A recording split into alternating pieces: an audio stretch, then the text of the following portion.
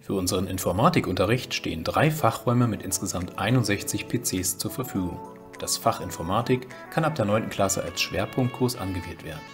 In Klasse 11 und 12 besteht die Möglichkeit, Informatik als Grund- oder Leistungskurs anzuwählen, sodass man hier sowohl sein mündliches als auch schriftliches Abitur ablegen kann.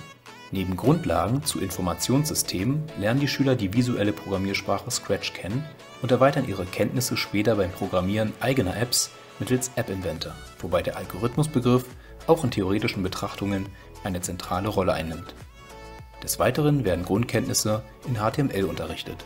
In der 10. Klasse lernen die Schülerinnen und Schüler alles über Aufbau und Funktionsweise von Pixel- und Vektorgrafiken kennen und nutzen ihr erlangtes Wissen während eines großen Bildbearbeitungsprojekts.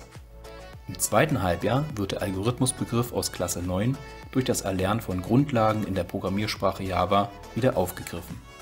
Die grundlegenden Inhalte in Klasse 11 und 12 sind dann Algorithmen und lineare Datenstrukturen unter Nutzung der Programmiersprache Java, Grundlagen der technischen Informatik und Computernetzwerke sowie logische Schaltungen, Datenbankmodellierung und SQL, objektorientierte Modellierung und Programmierung mit Java, Grundlagen formaler Sprachen und Automaten und abschließend ein großes eigenes Softwareprojekt. Wenden Sie sich bei Fragen gerne an unsere Info-Mail-Adresse. Die Fachkollegen beantworten Ihnen diese gerne.